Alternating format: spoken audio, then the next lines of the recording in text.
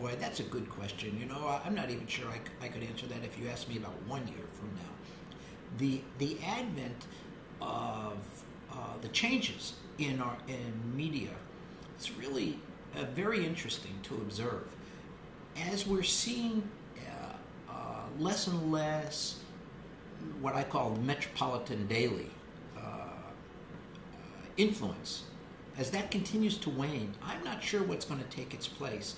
For a while, I, I used to think that we're going to evolve into into a two uh, phase media situation that would be hyper local, little shopper newspapers, and then global like Associated Press, Reuters, Dow Jones. But I don't really know which way we're going to go, and so it's really hard for me to predict. I, maybe I'm just not as smart as I'd like to be, but the changes in both technology and the media are so great that I just don't know where we're going to be. And and and I will say that uh, there are very few uh, educational resources to turn to.